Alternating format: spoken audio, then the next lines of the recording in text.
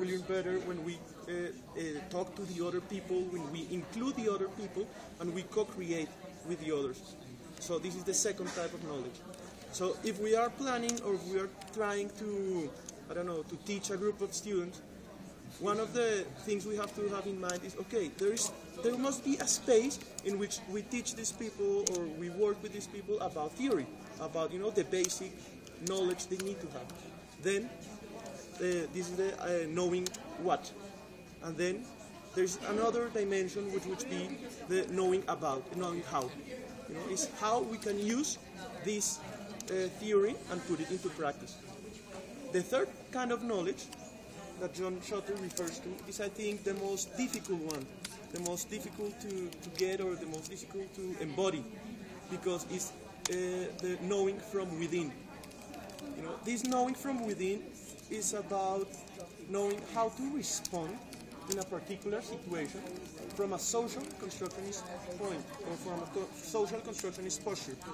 So, for example, if you are teaching in a in a student uh, in a classroom with some student, and you have taught these people about you know all the theory and you know as well about all the methods and the techniques, which would be like the know, uh, knowing uh, how. Then, if, so, if something happens in that uh, space, if someone raises a question, then you have to try to be able to relate to that question from a social constructionist perspective. And this kind of knowledge is the one that Eduardo was saying that is only one that you can get, you know, when you are working with these ideas for a long time. It's not something you can, you know, read somewhere. It's not something, you know, that someone, you know, will give it to you. It's something that you have to practice over and over and over until, you know, you adopt this kind of posture and this kind of uh, seeing of, uh, yeah, seeing the world, actually.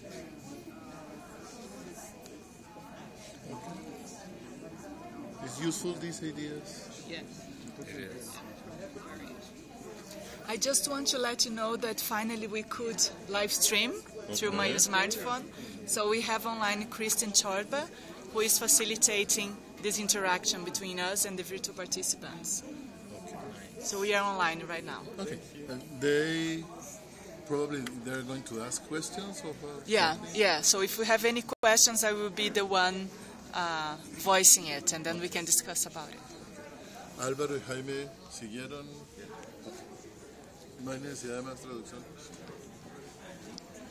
So relating to that, what you just said on John Shotter's three kinds of knowledge, I was thinking that as a professor, I have a content or I have something I want my students to know about.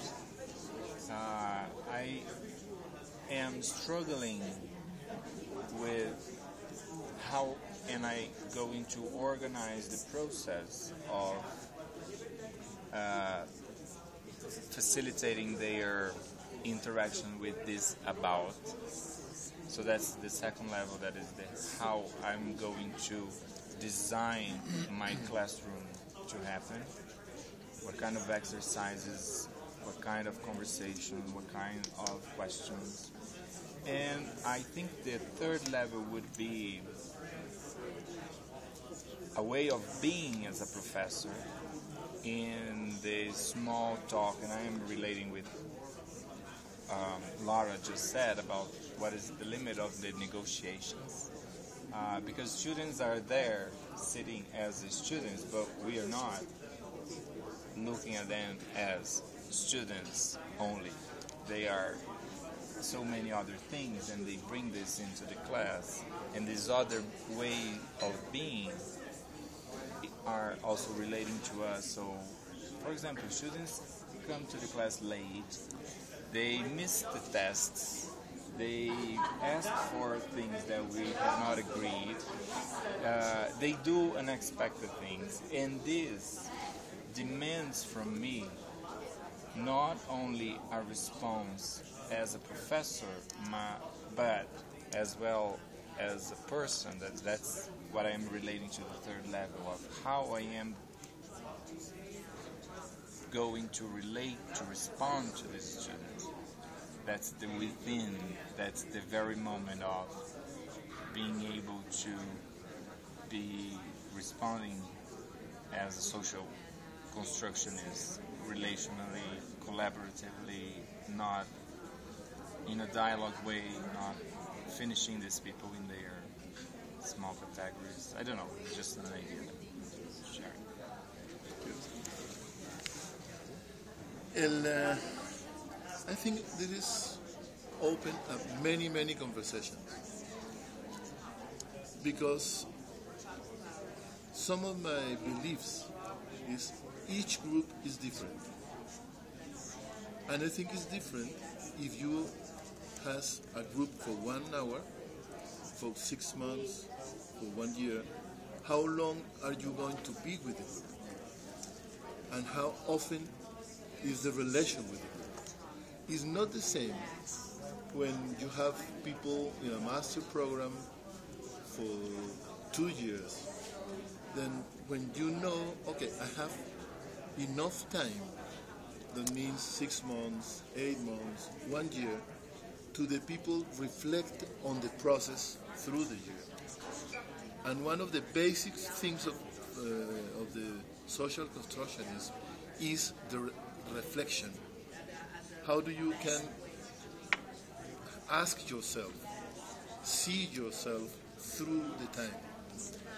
And I think we have uh, the, the belief that the basic context in which we relate to the other one are time when we are going to meet, where, where is the space, how we distribute the space, and how long it takes the meeting. And the other one is the language games. And I think we start in the social constructionism to create a new language that became part, as Ken said before and Sheila said before, we create some way of see and way of relate to the other through the time.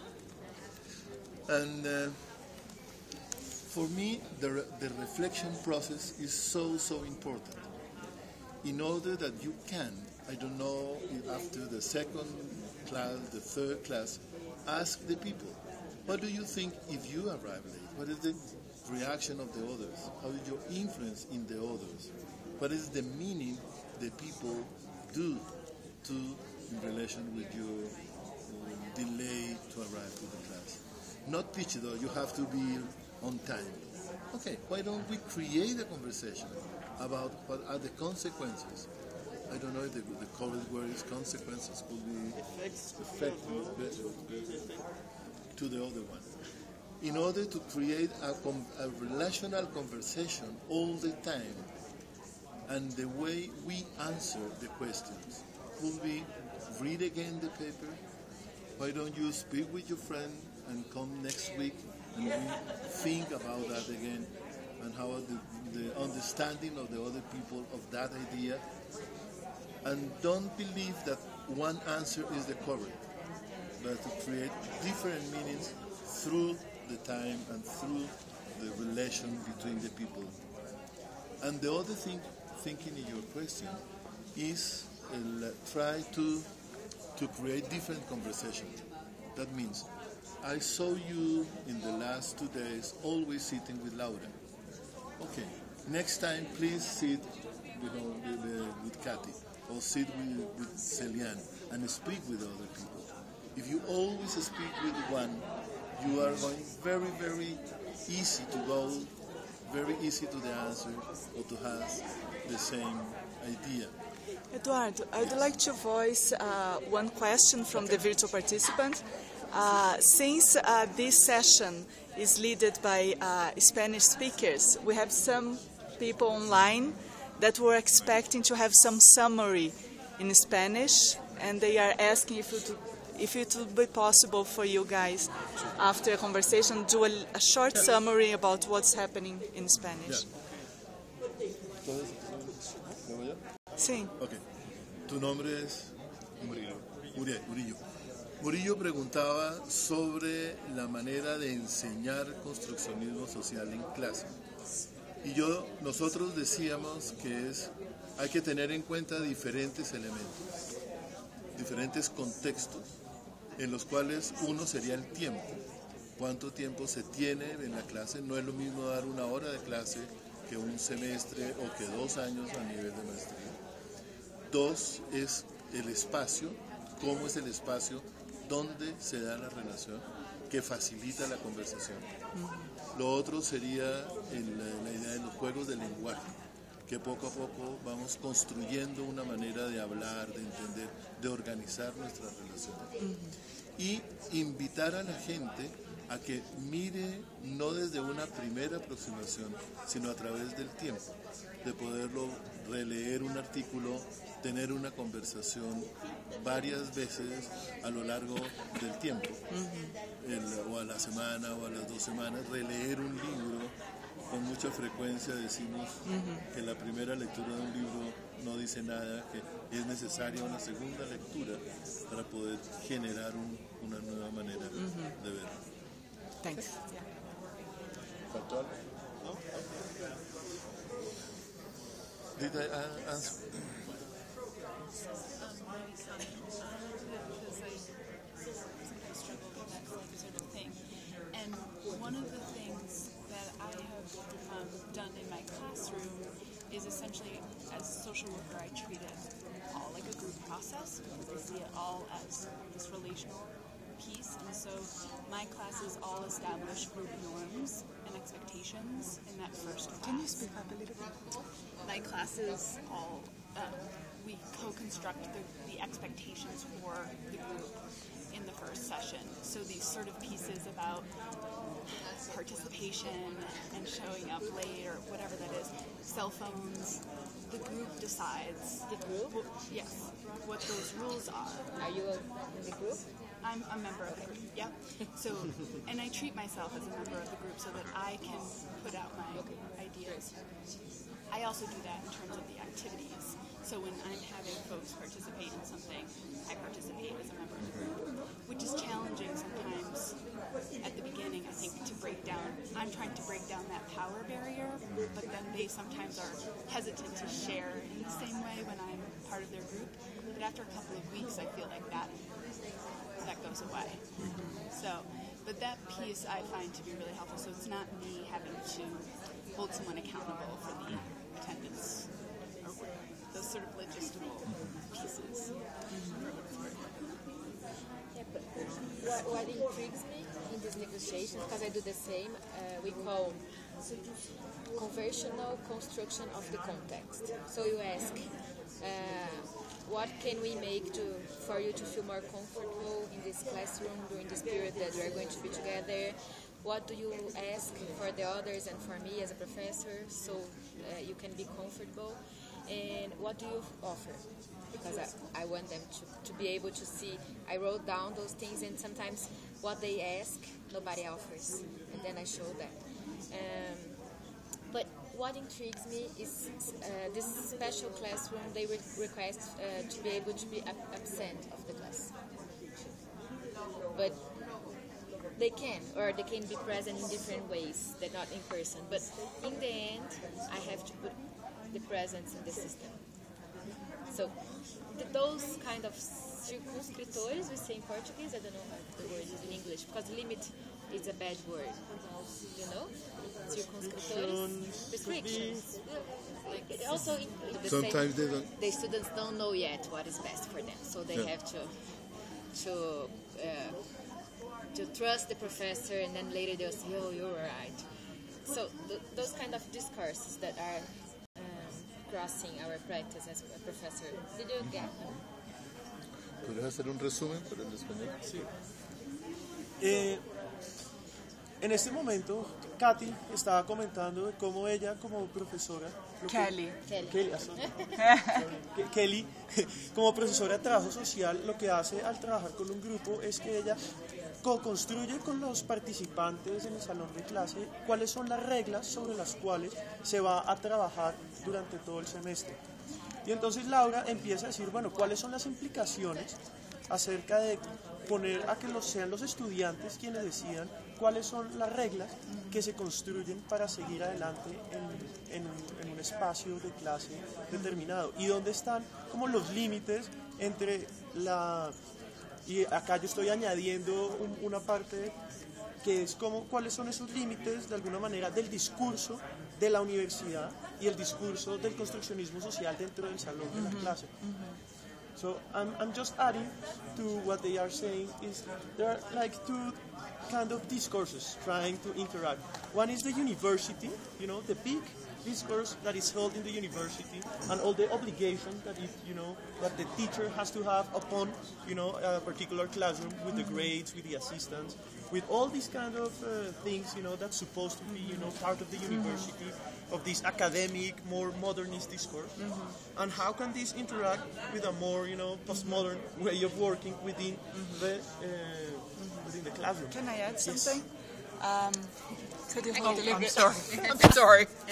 That's okay. Uh, because when I'm listening to both of you, I feel the struggle I have when I start the course, and I see like Kelly, she go a bit more radical into really co-creating the environment, and Laura she stays into like middle way. So you're still having the power of being the teacher, so you believe you know what's best for them, so maybe they don't know yet, right? You said maybe you don't know yet, but in the end you're gonna thank me because I'm the position that I have the car. So I'm in between, like I know what they need, but then I have to trust that they also know what they need, and then when I put when I put myself more into, into Laura's position, I think it's a bit easier to to co-create this environment. I have tried to go really into we are co-creating together, so we are both responsible for what's going to happen at the end. Are you uh, are you in with me? And then if they say yes, and then we start. We have the first day the contract, what we're gonna be doing here, and we write everything down, and we always revisit. And some of the thing is, if we are co-creating reality, uh, you as the audience, you are responsible. So if you are, sometimes they say, oh, it's so boring this topic, so I'm disconnecting. You are responsible for co-creating. If you are getting bored, you should voice it because then we can co-create something else. If you don't voice me, you are responsible for not voicing it. So, but it's so it's it can be exhausting because uh, at the end of the day, I have to have grades, I have to deliver uh, assignments. So one way I use to help me is to talk about the institution. So we have an institution with us, and we have to deal with that. So I have to report presence And great. and grades. How shall we cope with that together? Because there is another voice that we have to report. And then we negotiate. How about if we have the written exam, but also you can give us two times oral, oral presentation? We think we do best. Okay, I can do that. So then I, we have three assignments: the written one, two oral. So we can negotiate that. But they know that at the end of the course we have to have grades. So, but I, I feel I sympathize with this both ways. Like, if I'm not comfortable with some classes, I might choose to take more lead.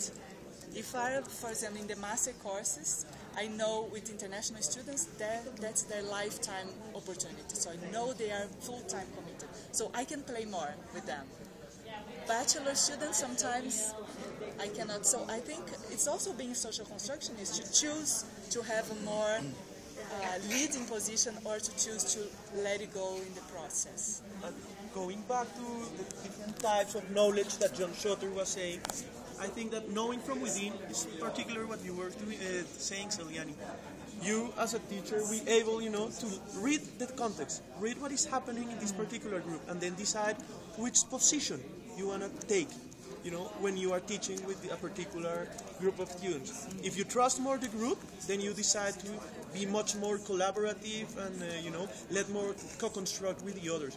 If the group is not following you, then you can, you know, adopt more like a leading position in which you say, okay, this is the way we are going to go, and you will finally, at the end, you know, realize that this was the path that we should take. Mm-hmm. So, I, Or not. or not, yes. So, so to be a social constructionist, you know, professor, teacher, consultant, is not, you know, to be always collaborative and to be always in dialogue.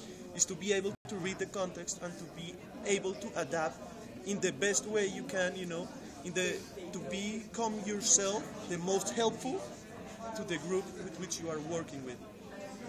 Lo que hay que hacer un resumen en español. Ayúdame. El, eh, Celian estaba diciendo de cómo es necesario tener ese balance entre las obligaciones que tiene con la universidad. Hay que hacer, así, tener la asistencia, hay que hacer unos exámenes y no es de que cualquier cosa vale. Y por el otro lado, entender cuál es la posición, qué cómo es la evolución en la cual el otro está.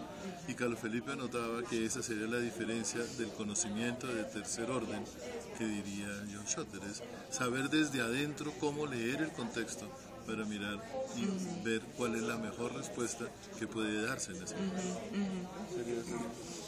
What, can you say what book Schotter wrote those? Their art? You can find there is a book uh, uh, I think the Taos published recently that it's called Getting It. Getting It. And John Shotter writes about these three kind of knowledge there. But he as well he wrote it in many places. It's not that the only place, but this is a, I think you can get it up here in the bookstore. I'm not sure.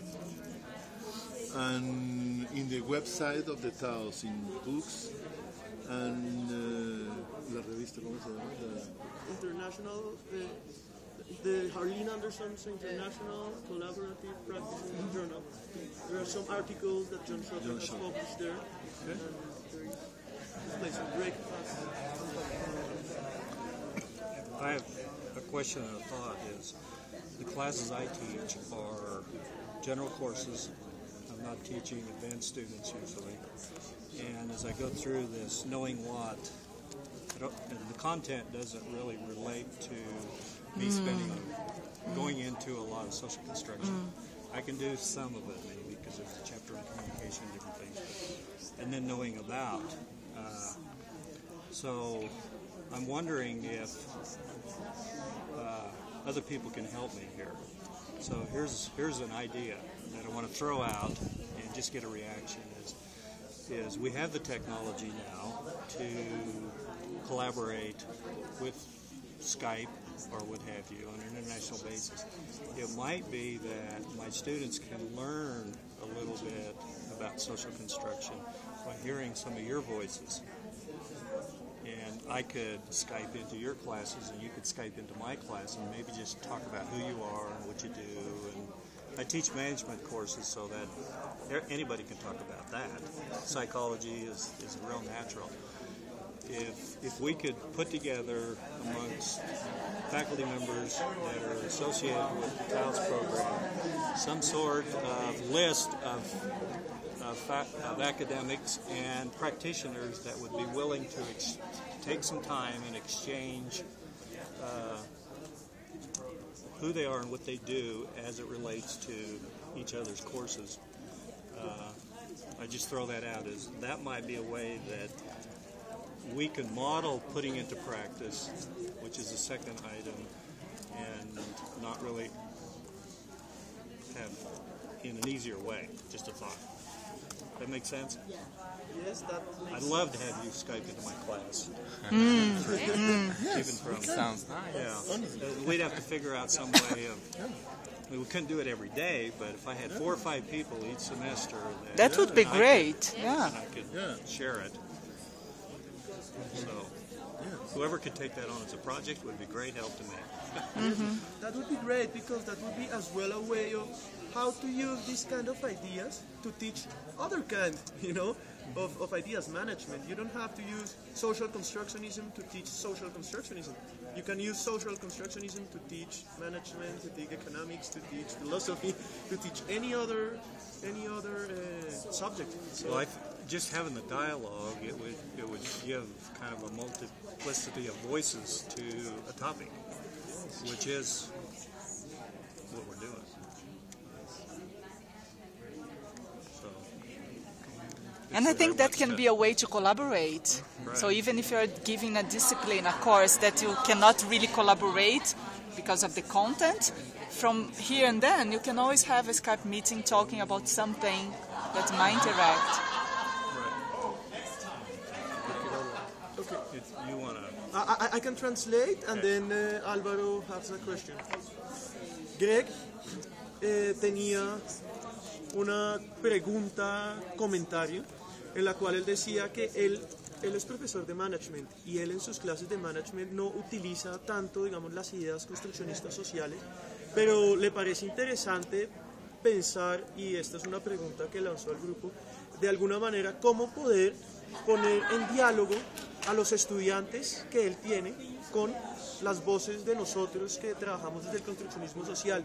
Y él propone que pudiéramos tener conversaciones vía Skype con los estudiantes, de, de alguna manera, estudiantes de él de management con estudiantes de psicología, trabajo social, de diferentes disciplinas, y que pudieran intercambiar con ellos eh, diferentes ideas y de alguna manera construir y empezar a aplicar de esta manera las ideas construccionistas sociales.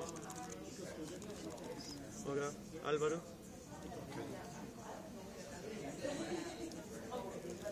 Eh, estaba pensando acerca de la intervención de Greg sobre poner la tecnología al servicio de la difusión de las ideas y del manejo eh, del construccionismo social como un enfoque y una mirada y una forma de recoger el conocimiento y quizá con una palabra de esta mañana de Sheila, creo que era que es de reconstruir en una etapa eh, y, digamos como que la inquietud que me surge para quienes están haciendo docencia formal que están vinculados a una universidad o que están vinculados a un título es que esto los invita probablemente a todas estas instituciones a repensarse, porque es posible que incluso estas instituciones, entre comillas, tiendan a desaparecer, porque se generan redes de conocimiento y de aprendizaje que sobrepasan los límites de las instituciones. No sé si me hago entender. De tal manera que, como que la visión que estoy viendo con base en la intervención de Greg es o sea que estamos hablando de una institución educativa distinta, como institución, como concepto educativo distinto, es la pregunta mía. Álvaro, I will just now translate into English. Álvaro is reflecting upon uh, Greg's uh, comment, and he's saying that what would be the implications, you know, to the way the uh, institutions, you know, educational institutions thinks about themselves when we start to include all these new technologies, you know, all these new connections between the people. Now the people start, you know, to be much more connected. How is the education, or how can we think in other terms the way the, uh, the institutions are created? Does that mean that they need to transform themselves? Which way do they have to go? Should they stay the same? This is what Alvaro was just saying.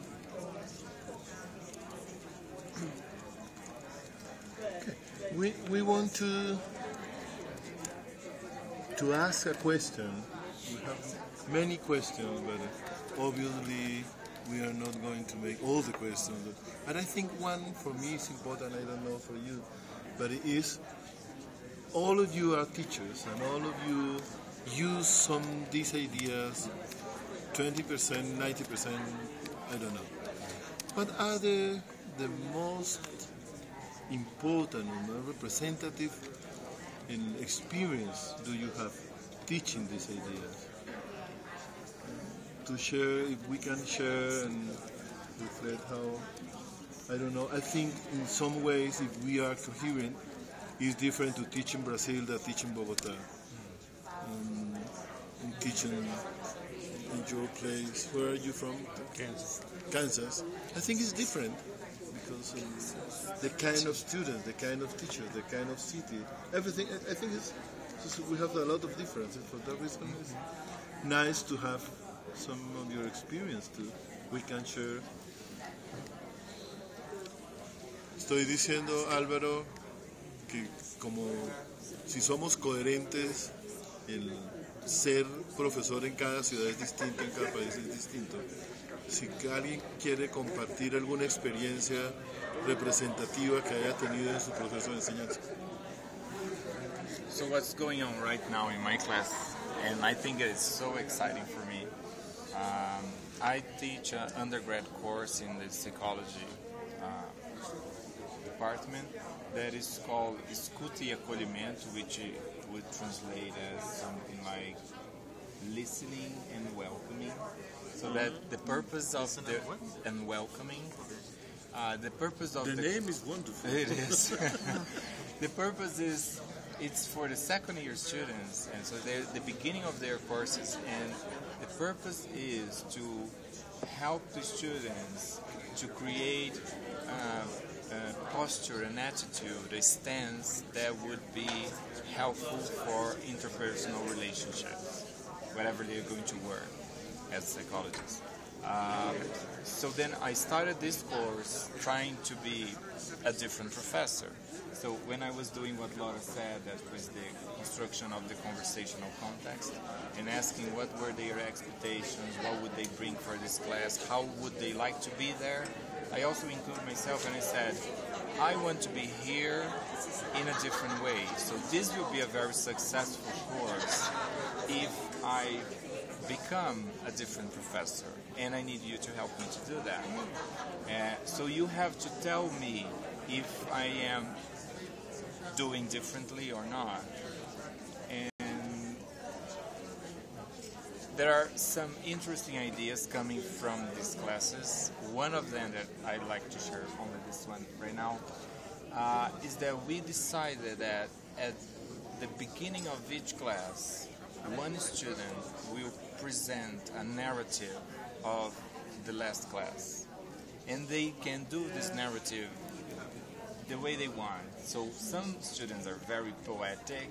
They write like a poem about the last class. Some others are like journalists. They like really uh, describe everything. So the only thing I ask is you have to do a narrative about our last class, and we decide which one is going to do next. And your narrative must include what we talk about and how we talk about it. So students are, and I think that's an exercise of re- reflexivity. Students are looking on how they are doing their classes, and they are getting really engaged in this. So that's nice. How many students do you have? I have uh, about 30. 30. 30. How long is their average narrative? Or how, how much of the class Oh, it is do a you page. spend? Oh, I mean, how much time do you they spend do on they do it at home. So we decide. So you're going to do next. Right. So next class, you come and you start the class reading your narrative. That takes only five minutes. Oh, so it doesn't go on for half an hour. No, no, no. Would you let it go on for a I would. period? Sometimes they want to comment on the narrative. They want to include something. I always ask, do you want to include something? What is something that you would like to say about this? Sometimes they are just like, nice. It was just nice to remember what we did the last week, and then we go on.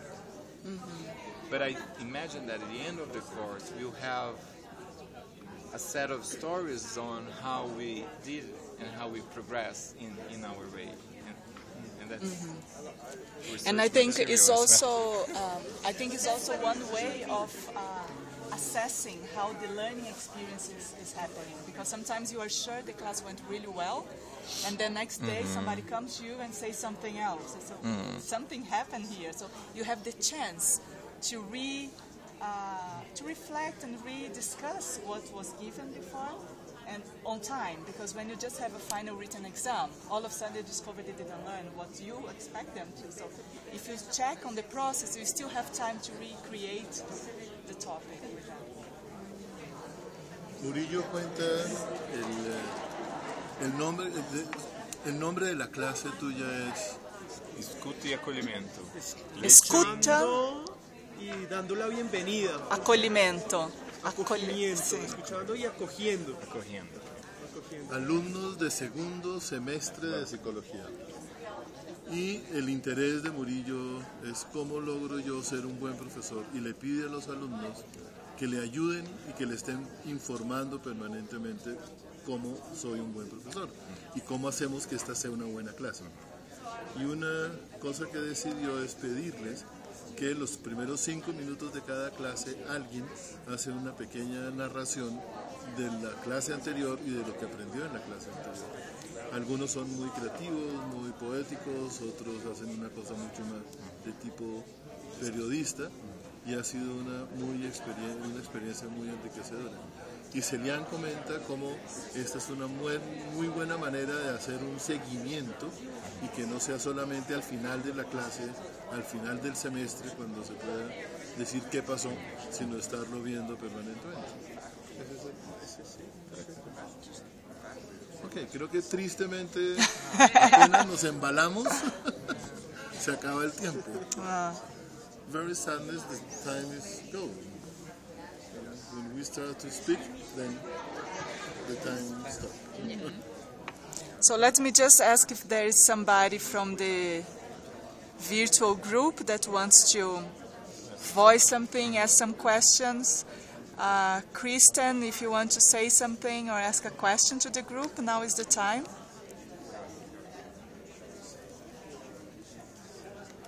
And also, I think it's important to say that we have a discussion space here that we can always keep the conversation on. So if any of you have some uh, later insights and want to, and we can keep connected. I like the idea of doing some Skype sessions together. I love the name of the class, Listening and Welcoming. And what it reminds me of is, is uh, a law school professor friend in Boston uh, wanted to teach a course in uh, preventive law or alternative practices in law, um, and she couldn't get it past the, you know, the, the uh, course committee or whatever. And uh, once she called it clinic, they said fine. So she does whatever she wants in clinics, and she's got students, you know, waiting in line to get in her class because she's talking about all these new ideas in the law. But the law school said, oh, no, no, we don't like the sound of that. So, I mean, I think about a class like listening, listening and welcoming. I mean, can you imagine that? You know, so, but it's a wonderful idea. It's fabulous, you know. Muchas gracias. Thank you very much. Thank, you very much. Thank you. yeah, thank you. Thank you. Something else I wonder about, I know we have to break, but um, the, the issues or uh, problems that arise uh, translating the social construction ideas back and forth from one language to another, and how, you know, if you find issues associated with that kind of translation, like are there different concerns about social construction in the culture of Colombia, wherever, Brazil, compared to the U.S. Am I making any sense? Just, uh, I just wonder about the, the language, and you know, are there issues with translation of concepts or anything like that? Yes. Okay. I would say yes. There are some issues in the translation, mostly because in uh, in English you can play much more with the language. You can invent a lot of words, and you can make you know this when you add ing to lots of verbs. uh, This, uh, like weakness, when you add in this. Oh, and it's, it's yeah, so ing it, it, it becomes like movement, you know. That's like you are doing something in the moment, which is actually very difficult to translate into Spanish, for example. So there is a lot of you know small details that many people play with, you know, writing the articles or when they present, and when you try to translate them, you kind of become all this uh, movement that you that people you know can say it in English. It becomes much more static when you translate it into Spanish. And it's, it's quite difficult. Mm-hmm. I This is love that when I hear people translating, like this hesitation. Either way, for English, like, I don't know how to say that in English or something like that. Yeah, that's why I wonder. I love that listening and welcoming. Wow, that's fabulous.